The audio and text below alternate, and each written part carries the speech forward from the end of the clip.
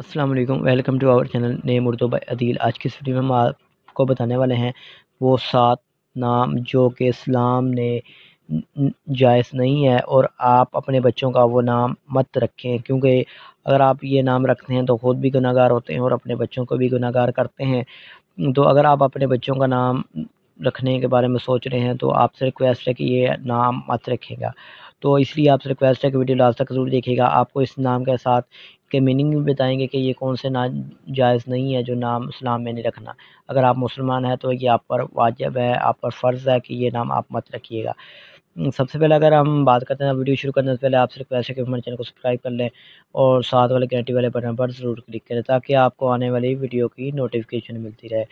तो आज की वीडियो, सबसे पहले अगर हम बात करते हैं तो सबसे पहले मैंने है अब्दुल शम्स, सूरज के बंदे। ये पहले नंबर पर आता है, ये नाम भी रखना जायज़ नहीं है इस्लाम में। तो इसके मैंने सूरज के बंदे, दूसरे मैंने है सैदुल खलक की दुनिया के सरदार। ये नाम भी रखना जायज़ नहीं है। अल आकिब, दुनिया जिसके बाद, यानी दुनिया में जिसके बाद कोई नबी नहीं आएगा। तो ये नाम भी, तीसरा नाम है, ये रखना भी इस्लाम में जायज़ नहीं है। इस्लाम में मुकम्मल तौर पर मना किया गया है। चौथे नंबर पर बात की जाए, मालिकुल मलाक।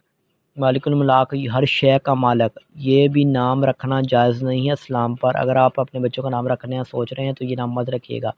तो उस अगले नंबर पर बात करते हैं, नंबर पाँच पर बात करते हैं, अब्दुल काबा।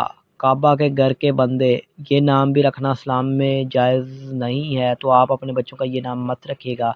अगले नंबर पर बात करें तो ये नाम है अब्दुल माह अब्दुल माह पानी के बंदे। ये नाम भी हराम है इस्लाम में जायज़ नहीं है। तो नम, अगले नंबर पर बात करते हैं अब्दुल हाजिर। अब्दुल हाजिर या हाजिर पत्थर हाजिर। इसके मैनी है पत्थर के, ये भी नाम रखना जायज़ नहीं है।